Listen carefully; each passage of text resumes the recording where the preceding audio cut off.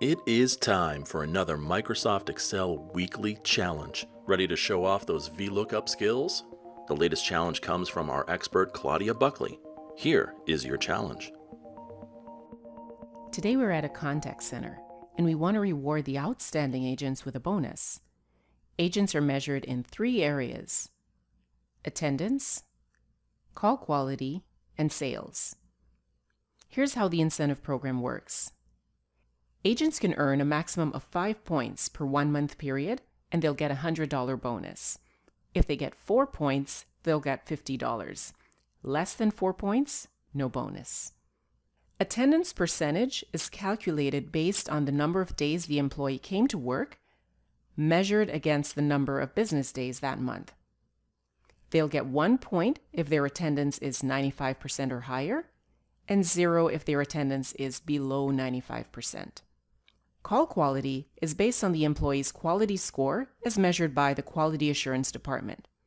Agents will get 2 points if they score 100%, 1 point if they score between 90 and 99%, and 0 if their call quality is below 90%. Average daily sales checks the employee's total sales against the number of days they came to work. Agents get two points if they average two or more sales per day, one point if they average less than two, but at least one sale per day, and no points if their average daily sales is below one. And that's shown right here. On the incentive worksheet, column J should have the total points earned formatted with green icons for 5 points, amber for 4 points, and red for fewer than 4 points. Employees with 5 points will get that $100 bonus. Those with 4 points will earn $50, and those with less will earn no bonus. Can you solve this challenge? Let us know if you get the answer before we release the solution video.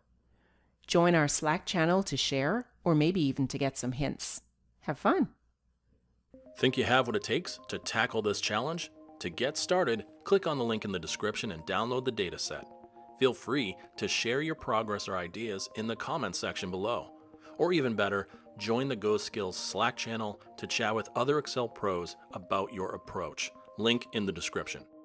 And want to know Claudia's solution?